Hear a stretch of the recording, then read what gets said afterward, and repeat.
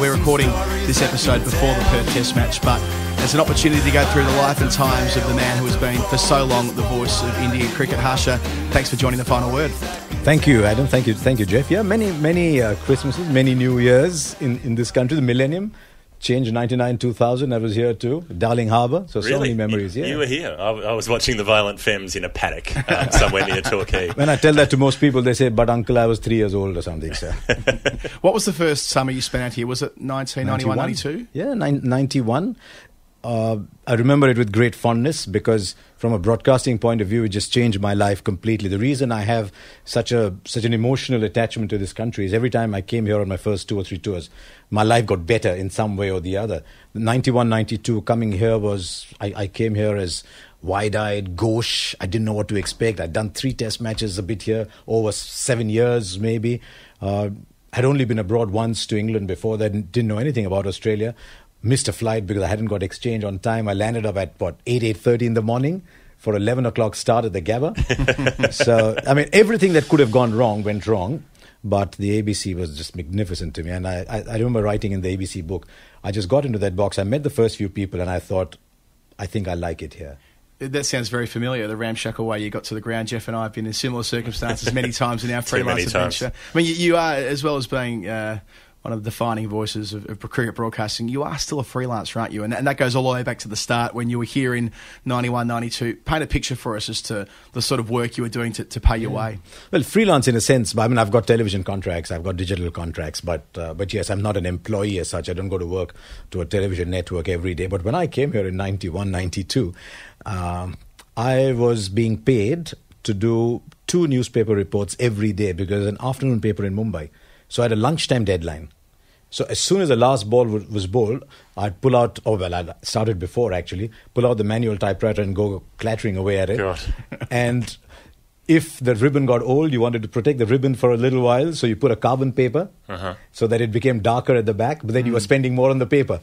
And then you had to find a fax. Fax had just arrived. Whoa. Can you imagine? Fax had just arrived. The new technology. Find a fax. So I, at, at the Gabba, I'd go running out of the Gabba, go to the first signal, turn right. There was a Queensland motel over there. Uh, I think it might have been at the Vulture Street end. And there was a Sri Lankan who ran it then. He would fax it for me and charge me only the cost of the of of the telephone line, and then come running back, do the radio stints, and then go back and do an, a, a close of play report. Then one at the end of the week for the uh, for a magazine, which would get translated into Marathi and go into Marathi magazine. And then uh, we had you're going to laugh at this. Nobody even knows they existed. We had video magazines in those days because 91 was still only one state-run television channel. We didn't have a second channel in India. We just had mm. one state-run television channel. So we had video magazines that came out every month or every fortnight.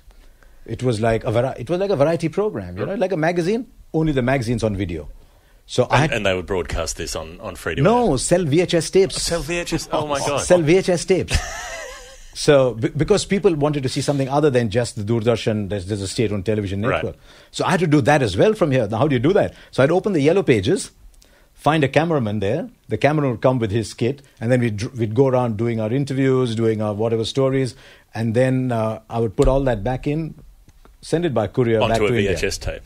No, it, well, I, I, couldn't believe it because Betacam had just arrived in Australia. Oh. And the great thing about Betacam was that you could edit one or two or three generations down. Because in India at that time, we were still using the old U-matic tapes. I don't know if anybody knows U-matic, half-inch tapes. On low-band U-matic, if you, if you edited three times, you went three gens down, it became black and white or, or you got these scratches coming on it. So Betacam. Well, I like, remember wow. just with VHS editing, you'd lose so many generations just in you know even in one transference. Mm. So. And, and, then you'd go on your VCR and put the tracking in to take all the audio disturbances away. So yeah, it was it was very different. But but doing commentary, the ABC didn't pay me because uh, I was supposed to be the visiting commentator. So, they assumed you were being paid, paid by, by All else. India Radio, but right. All India didn't even know I was coming. the, the, good thing that happened to me, and you know. So did you just bluff them? Did you just show up and say, no, no, no. "Oh, hello, no, ABC. I'm, I'm officially I, here for duty"? Reporting. I knew one name okay. in Radio Australia. His name was Brendan Telfer. I think he used to be Radio Australia, which used to come on the shortwave to India mm-hmm. back then. Yep. And a friend of mine called Sharda Ugra knew him. So I, I sent him a letter, and then he said, "We do overseas. The person to contact is Alan Marks at the ABC." So I, I faxed Alan Mark something. We didn't have fax at home, so you had to go walk about 200 meters to a business mm. center. You had to fly to Brisbane, go to the Sri Lankan hotel, and then send a fax. No, no, when, from India. Yeah, yeah. And, and yeah, I know. And, and he said, send us some of your work. Luckily, my father had recorded some of my commentary on a Duleep Trophy game. So I sent that by registered post because I couldn't afford the courier. I sent that by registered post. I told him what the difference between commentary in India and Australia was, how we delivered 20 minute monologues. We didn't have chats with the experts. So please, when you listen to it, look at it from that point of view. But the ABC were just so good to me. It was incredible. God loves a blagger, don't they? And that's essentially what you've done there. You, you found your way onto your first internet. And they put me in touch with the BBC, which was fantastic. They didn't need to. Well, I mean, but at that point, you, as you said, you've done a handful of test matches over a handful of years, uh, yeah. a couple of domestic games. But let's go back to the very start of story you once told me about an under 19s test match in what yeah. would have been the early 80s or maybe the late 70s, even, Harsha, where, where yes. you managed to find your way onto the All India radio broadcast. Tell us that story. I know. There was an under 19 game in Hyderabad. England versus, I don't know if England was India or England versus South Zone but one of my friends actually playing, in one of my schoolmates, I just passed out of school, was playing in that game. And my father turns around and tells me, if there's an under 19 game, shouldn't there be an under 19 commentator? How do you fight with that logic? Apart from the fact, of course, that in those days, if your father said something, you said yes. my children don't understand that. So, I. so I changed two buses. Three o'clock in the afternoon. It's blazing hot. I take one bus, go to the terminus, change another bus, go to All India Radio just before it shuts, and I think it set it up because Hyderabad is a is a small town. Everybody is maximum one degree of separation away. I mean, small not by world standards, small by Indian standards. So they said, uh, no, you do an audition first. Why don't you do a bit on Giovanni? But a year later, I was doing Ranji Trophy commentaries there. And the, as a as a twenty year old. As a twenty year old, yes. The big advantage with starting young is you're allowed to make mistakes. You know. Right. So you make mistakes at a time when the world is charitable to you. Because if you're starting at 30, you don't have time to make mistakes. You've got to go in straight. When you're starting at 20, 21, they say he's just a kid. He's okay. And I was very lucky. I had a couple of experiences very, very early in life. The first of those in my first game, we're only doing after lunch because of uh, it's a Ranji Trophy match, mm. and it was drinks. Now, no commercials. You got to fill three minutes of drinks, right? So there was a senior broadcaster who'd done many years of commentary. As soon as drinks came on the ground, he quickly read the cards and said, and with that is Harsha Bhogle and walked out of the commentary box. I've got three minutes to fill, and he's already done the cards. And I remember telling myself, it's like it was yesterday. I said, one day I will be a senior commentator and I will fill this entire segment and then pass it on to the kid who's coming in. But I had to survive.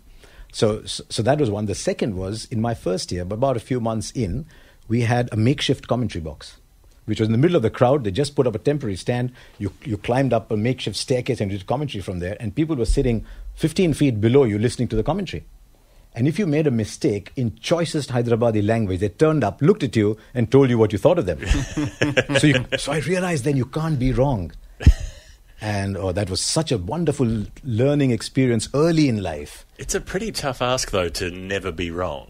You cannot be wrong in radio unless you lie. I mean, you, you, can, you can make a little mistake here and there. You might identify a player wrong or whatever. But in the pre television era, nobody knew if the ball was being hit on the offside or the onside. Nobody knew if the ball was seaming in or seaming out. Nobody knew if it was full or short. You just believed the radio commentator. It's amazing so, what what uh, they can throw at you when you're broadcasting on air, and suddenly that you know there are things that you didn't know about at all, but th- that you find out, you know, like this, like having the, the drinks break thrown at you. I yeah. called some uh, tests on Sri Lanka Broadcasting Corporation a few years ago. Did ten minutes at the start of the day with Roshan Abeysinghe, who's yes. uh, another visiting caller that a lot of ABC listeners would know. Um, and after ten minutes, he said, "All right, it's been nice chatting with you. I'll leave you with Geoff. See you later," and walked out. And that was it. I was doing the rest of the test on my own. um, you know, interchanging with the Sinhalese, five over Sinhalese and then me doing five overs in English. But with, we all have our no stories. We all have our stories, don't we? I mean, I was supposed to do the test match in uh, in Chennai, 87 88, India West Indies. So I've arrived in Chennai and we had this big commentators meeting the day before, which was really a cyclo-style sheet of do's and don'ts, what you're allowed to say and what you're not allowed to say and, and, and whatever. And was this like the BBC version, uh, of, like the list of swear words? but it was also it was cyclostyle. It'd been around. Does yep. anyone know what cyclostyling is? No. I don't think yeah. I do. Tell uh, us. The old cyclostyling machine where you went round and round and whatever. I, do, I don't know. It was cyclostyle. It, it, uh, it made a new copy look 10 years old. And it, I was it makes more sense with the action, but the action doesn't really come through in the audio medium. you can't see it on a podcast. Maybe on that camera, you go like that. There you it's go. like Harsha's churning butter at this point. If that yes, okay, there you go. or like the old ice cream machines used mm. to be, mm. the home ice cream pots. And so I was told, no, you're actually not doing All India Radio. You're doing Radio Trinidad because we're supposed to do a, te- a broadcast for Radio Trinidad.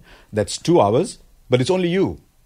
I said, uh, okay, I can see there's a senior broadcaster who'd been assigned to that who didn't like it. So he sort of moved wheels and then asked me to do that. The only problem was in those days, India played five and a half hours of Test cricket, not six. So it meant that you played 10 minutes, there was a 20 minute tea interval, and then you played one and a half hours. Oh, right. But Radio Trinidad, because they only came in with the time difference for the last two hours, were on for the entire two hours. And there's a 20 minute tea break. Which you were filling on your own. So what do you do? So luckily, uh, the, the West Indies manager said, "I'll come down for three or four minutes," and I hung on to him for dear life until 15. and then one commentator who I'll who I, will remember, I, I, still when I meet him, I say thank you to him. He said, "It might be tough, come I'll, I'll come and chat with you during the tea break." You remember those things? So I got these examinations early in life. So whatever mistakes I made, I had the opportunity to make the mistakes early in life. Not that I don't make them anymore, but you made the big ones early. Sounds like such a rich culture of cricket on the radio in India, which isn't necessarily the case now. When, when, you're the narrator of Indian cricket, as we said off the top, alongside you know, Jim Maxwell in Australia, formerly Richie Benaud, um, you, you, think about uh, CMJ in the UK and, and, and, Jonathan Agnew these days, and, and, and for those different nations that they've got their their major broadcast year in year out. All India Radio and, and other Indian broadcasters they've moved away from having Test match commentary. What do you attribute that to? The moment television came in, all India Radio bowed and said, Sir, please conquer us and take over, and, and just lost it. I mean, uh, what the ABC does really well and what Test Match Special does really well is not try to compete with television. Television is a monster. You cannot compete with television. But there's a lot of things television cannot do. Mm. Television cannot be warm. It cannot be intimate. It's mm. intimidating. It cannot be intimate because there's these pictures, you know, the, the, the, pictures that assault you almost for a broadcaster. There's mm. these pictures there. So there's a lot of things television cannot do. And what the ABC and BBC do well is they make it chatty, friendly. What is CMJ's line? Uh, you, you, just this, you assume there's people eavesdropping on on a friendly conversation. Mm. So that, that that's what radio does, but uh, All India Radio didn't try to do that, and they had 20 people on that panel. It was embarrassing to listen to, and luckily I didn't have much to do with them once once television came along. It's extraordinary that difference between the mediums, and it's something that I find myself sometimes even being at a match when there's a close finish.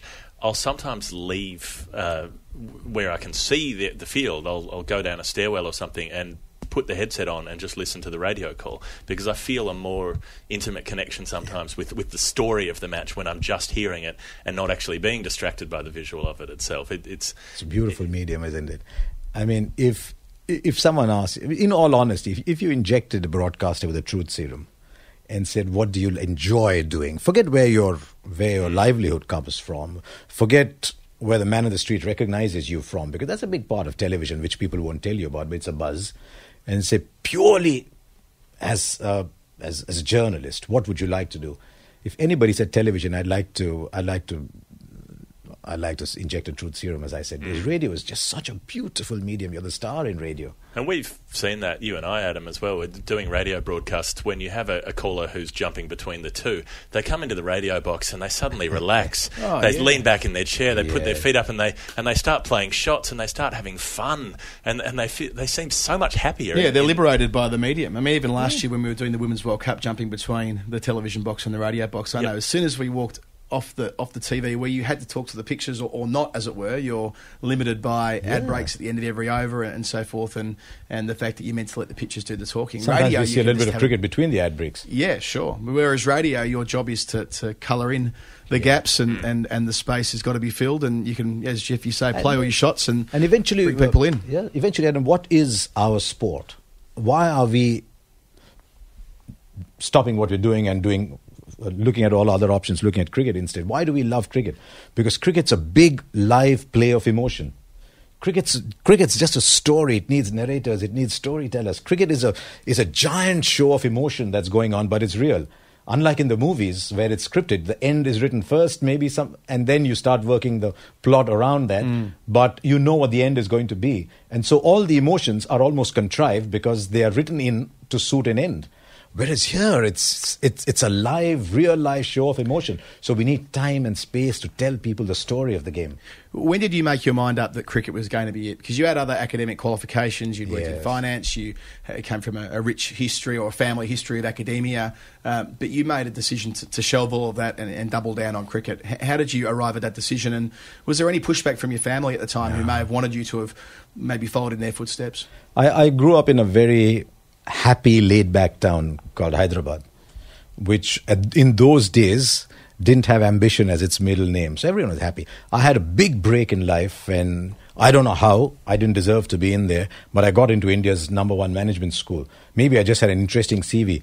But I went to that management school, Adam, and I'm looking at people around me, and I told myself, how on earth did I make it here? Because just the sheer academic talent around me was huge. But salaries in those days were very low. I, I, I, got a starting, I got a job in advertising. I'd been working for three or four years, and luckily my wife was working, and she had a flat in Bombay. If you got a flat in Bombay, you kidnap a girl. she was luckily we, we, so I just got married, packed my bag, and moved in. so and our, and most important, we weren't in love with money. Our uh, our needs were small. So in those days, we used to say it's income minus saving equal to expenditure. So you had to save because you didn't know what tomorrow brought for you. So saving was mandatory. Unlike today where it's income minus expenditure, there's anything left that's saving, isn't it? Because people live beyond their means. So we learned to live within our means. And so I was able to take a chance because my wife was working. Our expenses were low. And it wasn't that I got up one morning, had a eureka moment saying, I'm going to go. One of the big joys of graduating out of the premier management school is you know if it doesn't work out, you can go back to advertising and get mm. a job again. That was a, that was a huge relief. So, and then one thing just led to the other. And and then TV came, Harsha. I mean, we know you as a radio yeah. voice in Australia. You're doing Fox Sports at the moment, but primarily the way that, well, certainly Geoff and I have got to know you has been the ABC's visiting caller, yes. that intimacy we talked about before about um, over over successive tours. We, we knew who Harsha Bhogle was. We knew the way you told a story and so on. And it's a long relationship. You it know, is. It goes back a long way for I mean, us. I feel yeah. like I've known. Does, does TV build relationships with, with people? I'm not sure whether it does. I mean, I think the four on nine did. The four on nine did in their pomp. Yeah. yeah.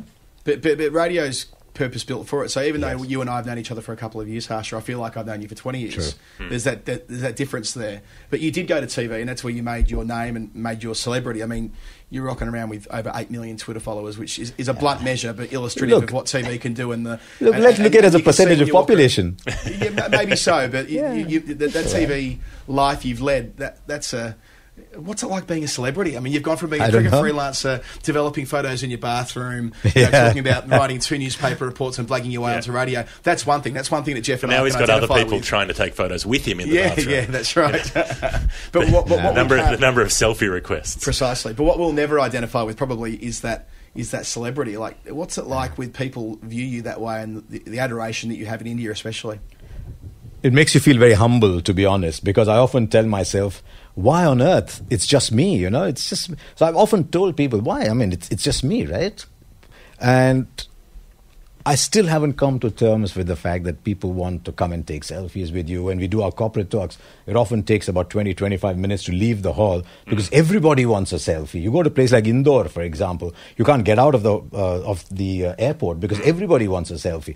And especially the cricketers aren't around then they make do with what's next best, right? So, so you're not the star, but you're the next best. So it's all right. I've got, I've got somebody, but you cannot let that get to you. I, have I've seen a lot of people who got recognized and who started to play to that image, and then suddenly, one next time you meet them, they're different people. Mm.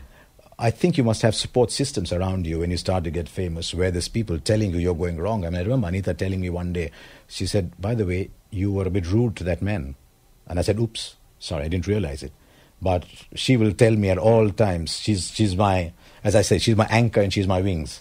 She's she's both. But uh, you must have someone around you. So I keep telling a lot of these kids as well. I remember telling Rahul Dravid once when he was just coming up. I said, whatever you do, don't marry a fan because you must have somebody at home who's setting the balance right. I don't know how it works with these young kids who don't want to hear anything said against them.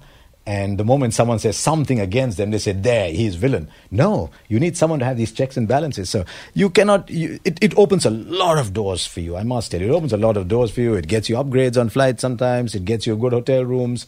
It, it, does, it does a lot for you, but you've got to be aware that it's it's fleeting. It's not there tomorrow. And in some fundamental sense, it's it's in a way it's a denial of your identity as an actual person because you know someone who doesn't know you is is talking to you as though they do, or they're recognizing yeah. you as as something they have a relationship with you, but it's a one-way relationship. Yes. And and they have a relationship with an image or an idea of you that's not the actual person. I imagine that must be, yeah. know, in an existential is, sense, yeah. quite confusing. The only issue is everybody wants a little piece of you. So I, I mean, I can imagine what it must be like being a Tendulkar or a Dravid. Because everybody, everywhere you go, wants a piece of you. Mm. And you actually want some days to say, you know what, can I go somewhere where I will not talk cricket? Yep. But, but can you imagine if you met uh, a movie star or, or you met someone who was in the movie industry, you would want to talk to them about movies, wouldn't you? Because, so everyone wants to talk cricket to you, and we are we are a country that's obsessed that's obsessed mm. with cricket. So I find refuge in my classmates from my management school, who knew me before I'd done television. So to them, he's just this guy who used to walk around in a in a towel in a in a hostel. yeah, and You'll I find speak up. yeah, I find refuge in that. So yeah.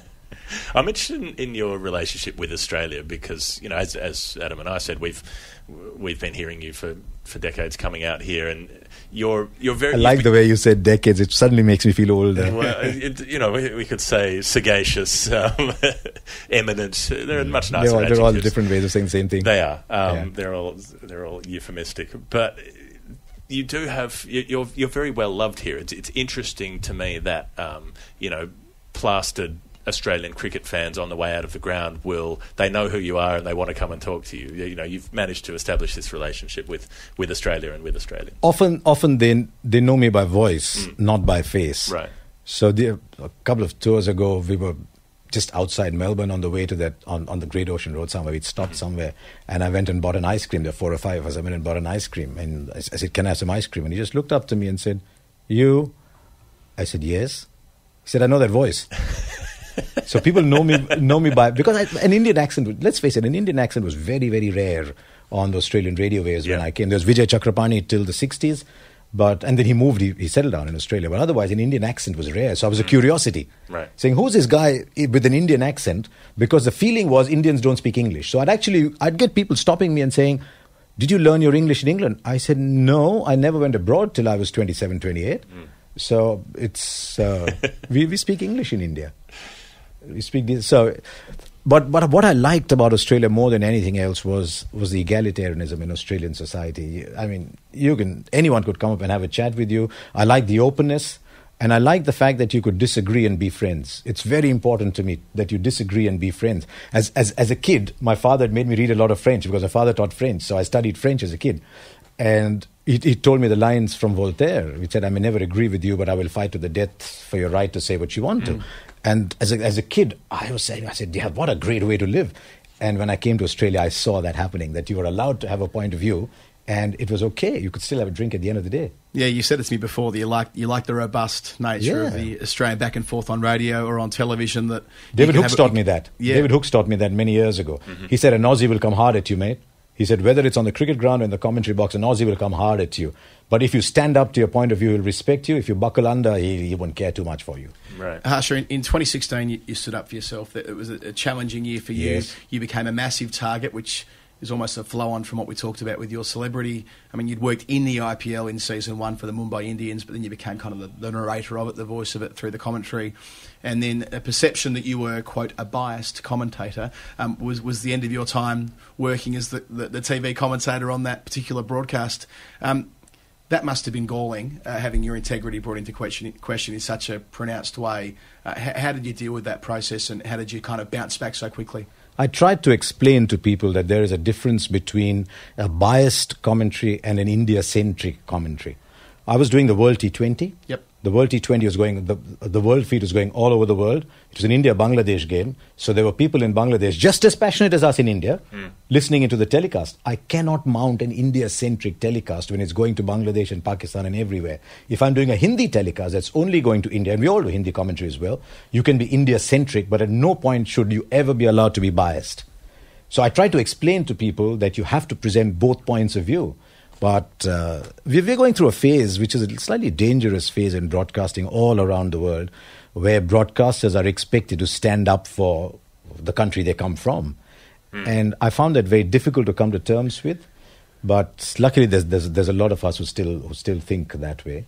But uh, I hope the day doesn't come when you're expected to be a cheerleader for your side. And it's not just India, is it? Do you remember those images from the 2015 Ashes? I think yeah. it was Mark Taylor and Ian Healy wearing I, the team yeah, I, I, remember an article about. I remember an article about Channel Nine and the matiness Yeah. The matiest mate to ever mated, if memory serves me correctly, was a defining line from that piece of writing to the man to my right. The last, of, last of the mated seems seems un- unlikely, but uh, anyway, it, yeah. uh, it didn't didn't win me a lot of friends in some quarters. it doesn't. but but I, I remember reading that, and I think we might have met there in Brisbane over over a little lunch, and suddenly everyone's yeah. saying, "Who's who's this Geoff Lemon?" You know, who's taken on Channel Nine.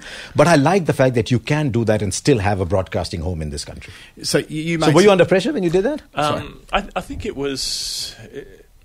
I, I, was I was being looked at sideways by, by colleagues who were saying, um, you know, it's good that you wrote that, but but the, the subtext was we're keen to see what happens next. Yes. You know, we, we, want to see what happens because you've stepped out of line. You're, you're not supposed to criticise other people who work in your industry. But I've, I've tended to feel that if I can't be honest and, and give an honest opinion on something, I shouldn't be here. I shouldn't be yeah. working here. So, so, I was I was told, for example, what six days before the start of the World Cup, before the start of the IPL, my bookings are done, everything's done, saying sorry, but we can't have you this year. Mm. And and that's it. Just as abruptly no, as no more, no more. 2016, and you know what?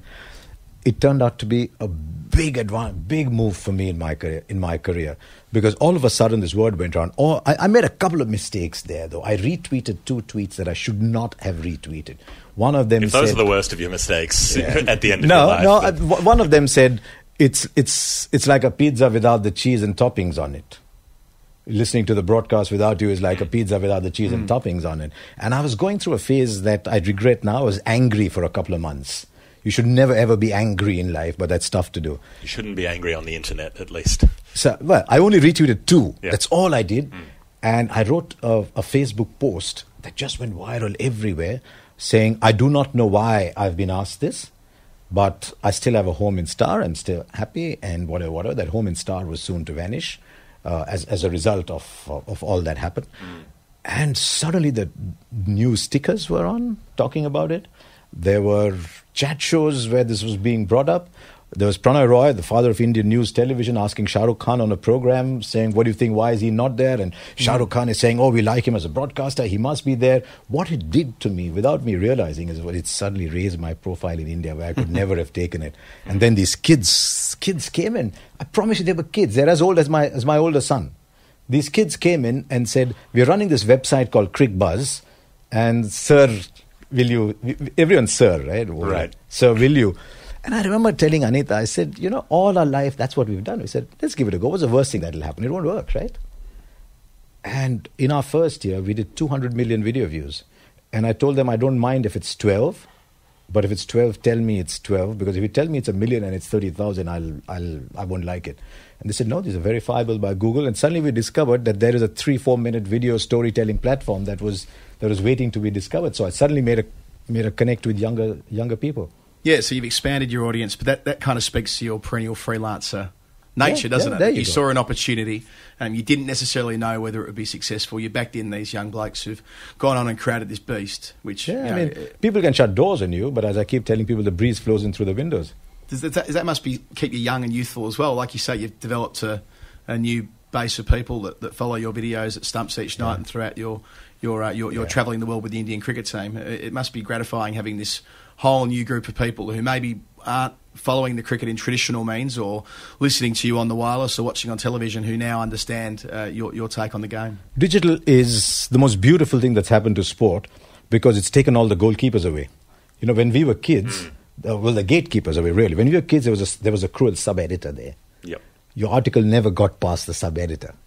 And then there was a television producer, well meaning, but the television producer who had to cater to his television his television needs. He needed the big names, whatever, whatever. So there was always a gatekeeper between you and the and the average punter following following the game television, uh, digital has taken that away. Now suddenly you reach him directly, and if he likes you, he follows you. If he doesn't like you, or she doesn't like you, she doesn't follow you anymore. So, and it's true if you've realized as well. Suddenly, it opens up pathways that you never thought were possible. It allows free speech. It allows it's it's fantastic what digital has done. And a related comment that you made that I found very interesting was uh, the need to be versatile. When yes. if you're freelancing, you have to be able to do no everything. Yeah. Yeah, you have absolutely no choice. You have to be, in, in the days gone by, you had to be able to write an 800 word article, a 3,000 word article, a 45 second piece for the BBC, a whole day broadcast, a telecast. If you got to be the front man, as I did, um, without knowing at all what a front man required, I did my first telecast as a live front man. that was the first time I'd worn a earpiece in my life. I had no clue what a live telecast entailed. A director in your ear telling you what to do. Never heard that. Didn't even know yep. that that was what it was. Yeah. But sometimes it's good, you know, because you don't go in with preconceived ideas of failure. It's we, daunting when you get it wrong, I assure yeah. you. But we had, Adam and I had exactly that same experience. Uh, yeah. Women's World Cup last year. I don't think either of us had done television commentary. You pop that earpiece in, and suddenly there are not just a director, but six. There's a guy in the truck, and there are cameramen, and there are eight people talking while you're trying to commentate. Yeah. No one had told me that this was a thing that happened. I'd done radio, but not TV. But you were doing commentary. You're not. You're not doing a piece to camera, were you? Yeah. Now, if you're doing if you're doing commentary, you can still squint your eyes a little bit and whatever, and strain hard to listen and still talk, but you can't do that if the camera's on you. Right. So the camera's on you, you've got this beautiful, you know, this beatific smile on your face, and there's actually all kinds of things going on. So, you know, in the, in the, in the early days, even now, at the end of a day, waist downwards, my legs would pain because waist upwards, you've got to look like you're enjoying life. But it's like the, it's like the duck, you're paddling furiously beneath. Mm. So my legs would be digging in to the ground because I was, I was tense, but I couldn't look tense. So I'm smiling, but I'm actually very tense. So my legs would hurt at the end of the day, and I'd not walked half it's, a kilometre. It's, it's kind of a great metaphor for you know the, the turmoil that goes on in people's heads, where they're yeah. smiling blithely outside and have voices in their head on the inside. There's a, yeah. a lot of us who feel like that. I and I and I didn't know what shirt to, wear, to go with what jacket, with what tie. I'd just been this casual, informal fellow who only ever had one jacket in life, and suddenly I'm expected to wear a jacket and tie. I did not know how to knot a tie.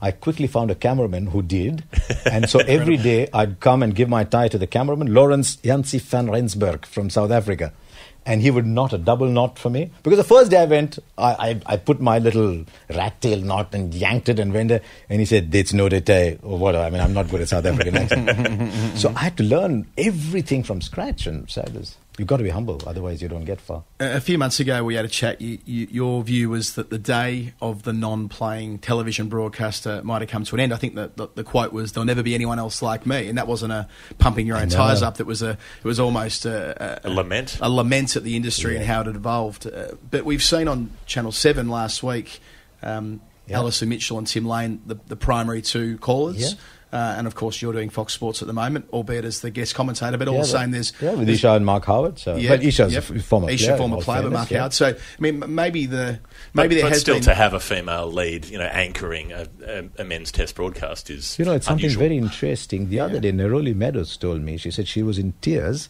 when Isa was calling Pujara's hundred. I said, why? She said, I never thought a day would come in Australia when a woman would be calling calling something like this, and I, I'd be part of a telecast. So, I mean, I think I've always believed you need a storyteller and an expert. The storyteller, the, the narrator, the ball ball man cannot pretend to be the expert mm. because then he loses his standing. Mm. You're gone. You can't do that anymore. Because the moment you say, Where's that elbow going? Is the head in line? Where's that going? Where's that going? Sorry. People will ask you, How do you know? You, you didn't play Test cricket. You. The, the quintessential criticism of a commentator, right? Oh, well, you didn't play professional cricket. How could you possibly know? You, you still get that. Oh, I get that every day. I, I, I, I, get that every day, but my role is different. And I realized early in life, I said, can I be the non striker? When I used to play cricket for my mm. university side, I found I was in partnerships where I was making 25 30% of the runs, but I was in long partnerships. And I said, can I be the non striker? It's, it's a lovely thought that, that all of us can go through. It, it struck me, can I be the non striker?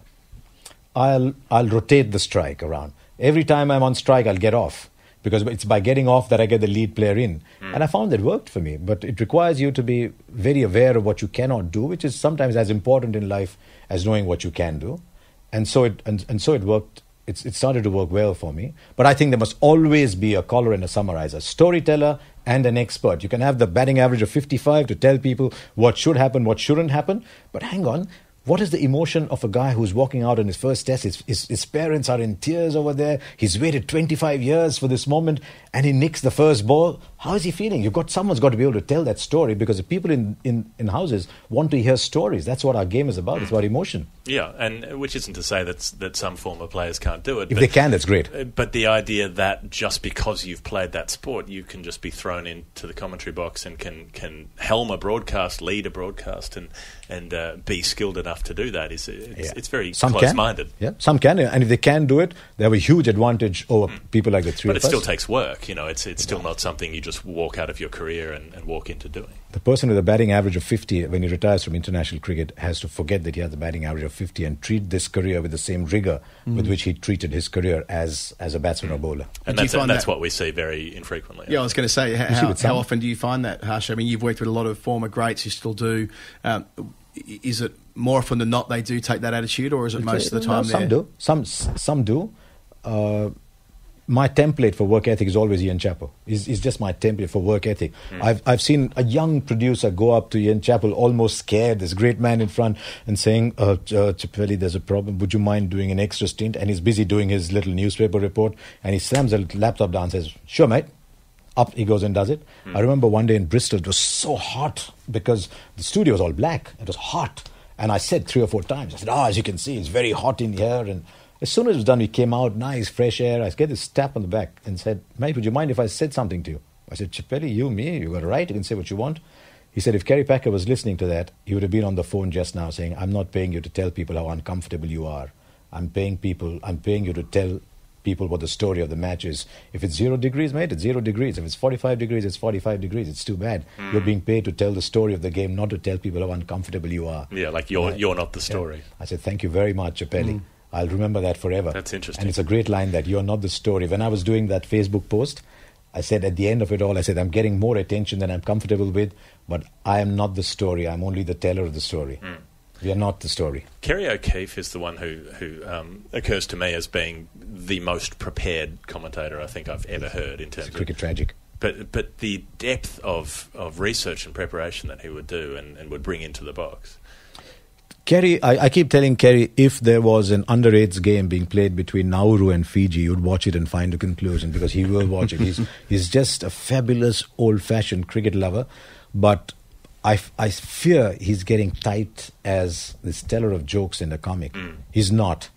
He is at heart an outstanding summarizer who follows the game very well, works his backside off. You must see the notes. I mean, he, he writes his, his, alphabets are about uh, his, the letters he writes are about half an inch big, so he only writes that much on a page. But he is easily the most prepared broadcaster. Well, you see it at the back of the press box when he's finished his commentary stint. He comes into the press box, which isn't common for a broadcaster to mm. do that. Sits at the back, watches the coverage, and, and continues adding to yeah. his huge wad of notes. It's uh, I met it's an admirable of, quality. I met a lot of broadcasters who just turn up. Don't want to see the rundown. They just turn up, and it's my job to keep the rundown going. But they haven't seen the rundown, so they don't know what's coming next. So they're just waffling along, and it's my job to rein them in quickly, bring them back. Or the, and these days, one of the problems is we don't have commentary is no longer produced because the producer is so much in awe of the player who's doing commentary. And I've, I've actually heard a couple of people say, How dare you tell me that? You're only the producer. Mm. So, you know, the, the, the, the balance has, shifted, has shifted completely. To what extent do you want to stay in cricket, Harsha? Really long term? I mean, I know you've had such a rich career in the sport, but um, yeah. you, have done many other things. Now you're in the corporate world, been speaking. You've written books that are both about cricket and not about cricket. Is there a temptation to spend more time at home yes. rather than continually being on the beat full time and being around the world for gently, eight or nine months a year or whatever it is? Yeah, you're gently saying that maybe I might be getting on. In no, I'm not. I would never say such a thing. Oh. No, but uh, but it's interesting. I, I love doing cricket matches in England. Yep and I just I would never give up the opportunity of coming to Australia. But I found this year when Sony said we'll do India versus South Africa out of Mumbai, and a part of me said, yeah, that's okay. I did tours of West Indies last year. I did Sri Lanka. I spent a lot of time just for six one days in West Indies and mm. a series in Sri Lanka.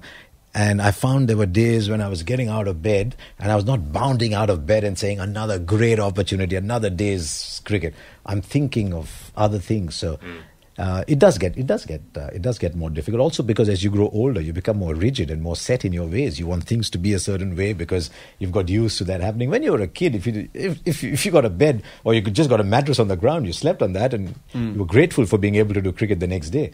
That that changes a little bit. So I uh, yeah. I, also, if I don't do a series like I didn't do the home series against the West Indies, I opted not to do it because I didn't want to burn myself out. I didn't want cricket to be a drudgery because cricket's been mm. my life. So uh, that that's starting to happen. I, I will do less. I think as I go along, I fear. In terms of the changing mediums, the online stuff you're doing, so on, does that help keep a little bit of that interest, given that there are new and different ways to go about doing and, similar and there things? Are, there's so many wonderful young people coming into our profession I mean, some of the finest insights I get are from social media. There's just this kid sitting somewhere in a small town in India will point out something and says, oh, but actually, you know, he has got out three times like this and whatever, but you did not mention that. And I say, oh, yeah, it didn't strike me. There's some intense, uh, amidst all the, all the toxicity and hatred on social media, there's some genuine cricket lovers will come up with things. So, uh, and I think they should all be allowed a voice. They should all be allowed a voice. They should be, I mean, cricket commentary has to get revolutionized. You need to have four audio channels. The pictures are the same. There's four different audio feeds going out, so to each his own. And, it feels. And one of them without any commentary. I right, a big one, thing. One of them no commentary at all. Just the sounds of the game. The stump mic is on. The scratching of the guard is on. The ball hits the bat. Mm. All the sounds of the game are on, but no commentary at all. They're so so evocative. Those sounds. You yeah. know, the spikes, the little bit of chat. The... Yeah. But there's a reason I want that because I want when people listen to me on a broadcast to have chosen to listen to me rather than have no choice and be stuck with me. Yeah, and it was something that, that would come up a lot in the criticism of the broadcasters here that you know they would say, well, our ratings are you know X million, so people must like the broadcast, and you'd say, well, they, they're captives; they don't have a choice. If they want to watch the cricket, they have to. There's yeah. no way to distinguish who hates it and who loves it. You must. Why not? Why not a nerdy commentary? Where after every ball, someone's pulling out stats like a cricket quiz commentary. Mm yeah, well, I mean, in many respects, when, when we first started doing alternative cricket commentary some yeah. years ago, Geoff and I, that, that there was there was a degree of that. Um, it, it, was wanting to almost be like a red button option in a pay yeah. television context, where people can hear a different version of, of, of, that game that they've grown mm. accustomed to for many years. When we did the did the work in the UAE earlier this year, we, we tried to almost combine the two. It was quite nerdy, but also we. How did that to, go? How did that go? Was it, was it well received the uh, the broadcast on the UAE? We, we, I think we I think it was uh, certainly yeah. the, the, feedback we received from people uh, who listened in were, were, mm. were, glad that we provided the service, and I think we were able to strike the right note, especially that draw in Dubai. The, the well, we, we, got lucky with we an did, incredible yeah. Test match. So we, you know, the first one we did was one of the great finishes. You're always lucky when you do cricket, of course. But yeah, I mean, but in terms of the quality, to come down to the last over on the yeah, last true. day and have you know see one of the great innings ever played by an Australian from Usman Khawaja, it was you know, we, we couldn't have, have struck. how better. good is it? For years, a player called Usman Khawaja would never have been able to play cricket for Australia. Absolutely. Isn't that Absolutely. fantastic? I see so much of that in Australia. I, I, see that as a big change in Australia from when I used when I first came. It's so much more multicultural. There's there's a kid called Jason Sangha who's coming through the ranks, isn't he, from New South Wales? Uh, there's yeah, this Gurinder Sandhu has played cricket for for uh, for New South Wales. Yeah, we finally got you know a good half dozen Indigenous players yeah, at the top level. Um, fantastic. Um, you know, playing in the T Twenty sides, the one day sides. All you need now is, uh, is go into Afghanistan and, and bring about ten leg spinners from there. Yeah, well, I'm sure that'll be the next plan in their They're expansion projects there. and so on. With They're growing on trees in They're Afghanistan. cranking them out. They've just got the production line going. It, it's almost yeah. interesting that the time you've been coming to Australia, many people would argue that um, we become a less tolerant country at, at, at, the top end in terms of the way we've uh, policy settings have been and so forth. But your experience as someone in cricket is that Australia's become yeah. a more inclusive and open country. It is, but but Adam, I don't know if I'm if I'm representative because I see only a part of Australia because I don't work here. I don't understand workplace politics. Mm-hmm. Ev- everyone told me when I first came, Australia is a racist country, and I go back and say I've never once seen racism.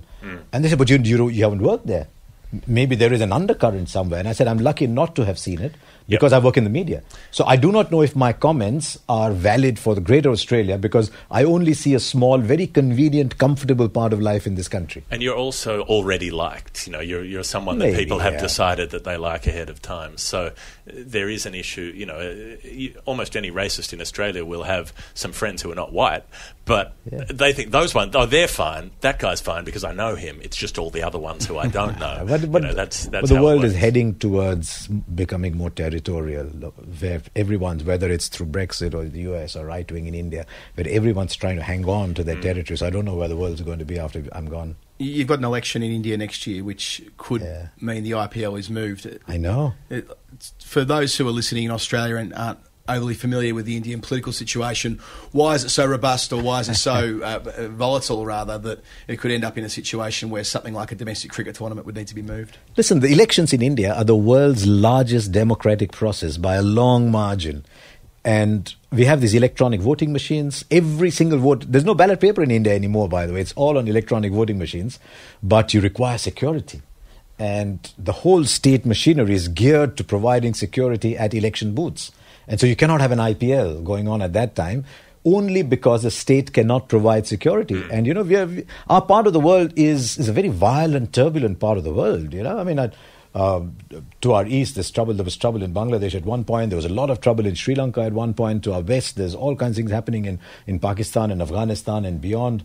Who's if, who's to know where the next terrorist attack is going to be? India's been India's had some terrible terrorist attacks over the years, so you have to have a lot of security around around IPL cricket matches. So if the elections are on, you can't have the IPL mm. at, uh, on at the same time. Can't you just have people vote at the cricket? Just come to the stadium, watch the game, vote. 1.3 billion, Geoff. You know, when you suddenly realize 1.3 billion and not 25 million, you just say, ah, okay. Yeah. you know? Yeah. I like, I, but I like the system in Australia where voting is, is mandatory. You have to vote mandatory and also preferential voting, the, the two mm-hmm. things that we've given the world. Not everyone have taken them India, up. we have a nota option, none of the above. Mm. Oh, you, really? can, you can actually go yeah. and vote because I don't like any of the candidates. Nota. Well, you, you I'm waiting for Nota to win an election. You can do that in Australia, but you do it by drawing a dick on your ballot paper. That, that's that's the time on it. And we would never use that word ever on, even on a podcast in India. How, how, how cool is that? Yeah. we, we, uh, I, I'm very aware of how busy you are, and as a consequence, I know no, at some point yeah.